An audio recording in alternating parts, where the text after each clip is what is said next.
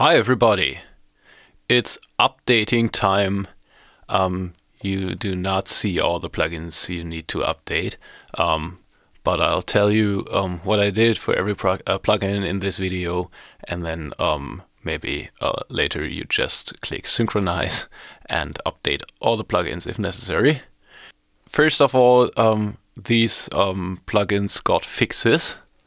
Um, I completely recalibrated the um, equalizing curves for the signal filters in um, EQT1A. Um, these were indeed uh, very wrong in the last or uh, previous versions, and um, I took the uh, original um, measurements from the from the manual uh, and uh, made this work uh, exactly like the original um, equalizing curves for every um, frequency selection and uh, knob turning and everything. So um, this should be okay now. Let's go on. In uh, something and in something SI, we had um, oopsie, we had uh, random audio uh, clicks in the signal path, and um, that was uh, indeed uh, caused by the new meters. Um, I did something wrong in the code, uh, but now that's fixed, so we don't have this problem anymore, uh, and it works as we would expect it. In the DisTreasure and in DisTreasure compact, there was a problem with the um, 10 by 1 opto mode. Um, there were some problems about the attack times that caused uh, distortion and um, loss of uh, gain reduction over time.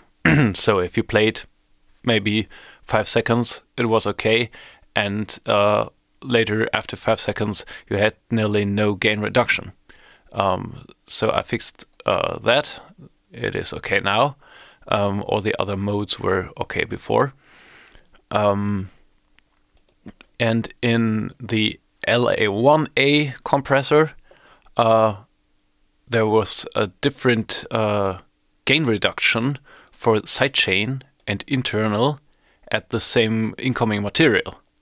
So um, I changed that behavior, that it is exactly the same. That were the fixes.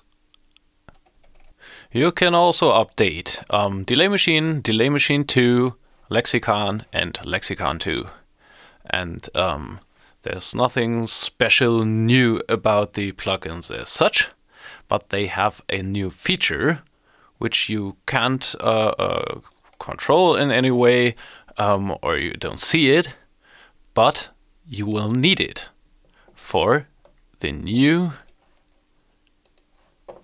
plugin I can announce now.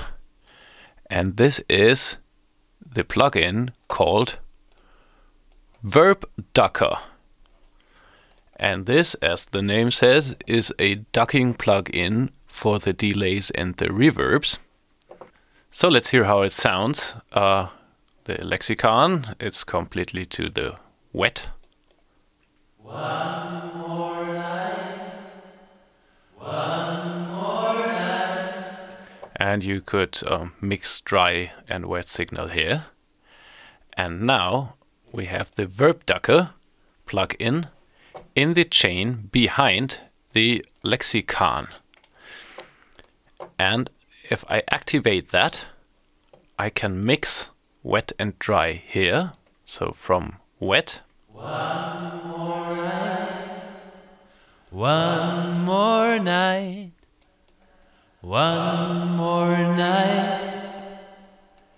And now you can duck the um, reverb um, with this ducking uh, control. One more night. One more night. So you hear um, the um, reverb signal uh, is being compressed by the dry signal. And uh, that also works for wet only.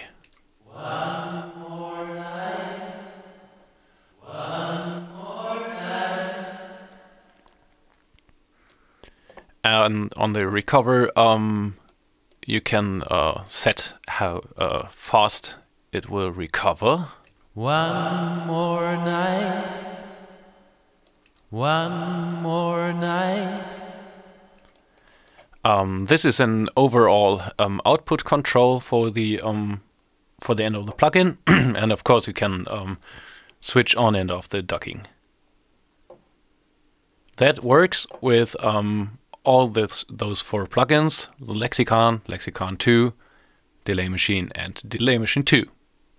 But that only works if you update the um, the versions. In the MCP meter, we have a new feature um, that is only shown in the plugin mode, not in the embedded mode. Um, it's uh, quite simple. I left that as uh, as a slider here above, and this is where you can set the warn level for your LED. Um, and it has a wide range from minus 24 dB to 24 dB. Default is 3. Um, so uh, this always refers to the um, calibration you made, um, but now you can uh, set this little lamp uh, to your wishes. You also need to update the um, compressor with Trick uh, 2, and that is not because of the compressor itself.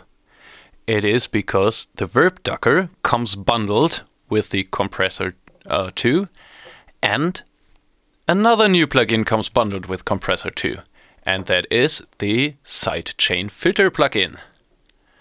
Um, as you can imagine, it's a filter for sidechain. So um, many people asked, um, could you please add a high pass filter to the NC76 or to the compressor 2? Um, could you please uh, put a high shelf um, for the detector chain in the LA1A? Or um, give us more freedom on the detector chain uh, of the compressors. So um, I made this uh, sidechain filter, and um, that's basically uh, an equalizer. I can uh, low pass. One more night. I have to enable it. One more night. One more night. And high pass things. One more night. Um, we have these um, frequency uh, dependent uh, shelving filters. One more night. One more night. And uh, in addition to that, uh, there's also one um, uh, full parametric um, peak filter. One more night. One more night. So this is basically a um, simple equalizer. And of course, you can use it as a simple equalizer in listen mode. But let me do something here, uh, which would sound like this One more night. instead of this. One more night. And now I put that to sidechain. One more night. And so we have the original signal back, and we don't hear what it's doing at all. Um, and that is because the plugin is sending the filtered signal to the sidechain track. And then we can go to any uh, compressor that can uh, handle sidechain keys, activate the sidechain, and now the detector is uh, fed from the filtered signal. So you can um, filter that to your needs, to uh, how you wish the compressor uh, should react to the incoming signal, and um, of course you could uh, could use these high pass, low pass thingies here um, to um, make a range for de-essing, and then use any compressor you like for de-essing. Okay, now that's it for today. have fun with the new plugins, have fun with the improved plugins, and bye bye.